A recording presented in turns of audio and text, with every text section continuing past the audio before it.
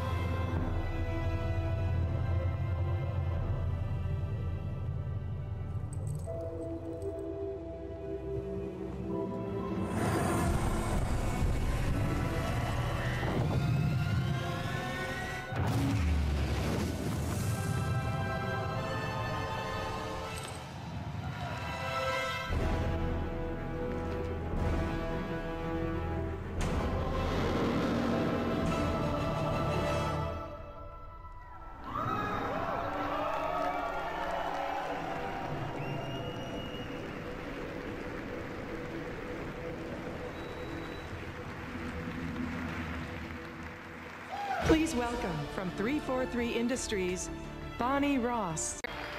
Halo is an incredible universe built on the heroism of Master Chief and the dedication and enthusiasm of its incredible fan base.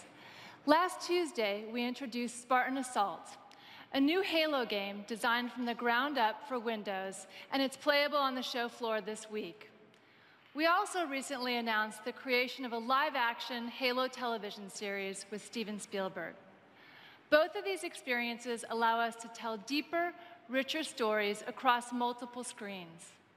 But today, we're here to announce Halo's debut on Xbox One. A Halo FPS for a new generation of hardware that will take full advantage of the power and flexibility of Xbox One. A Halo engine enhanced by the power of cloud computing, dedicated servers, and for the first time on console, a Halo experience that runs at a blistering 60 frames per second. All right.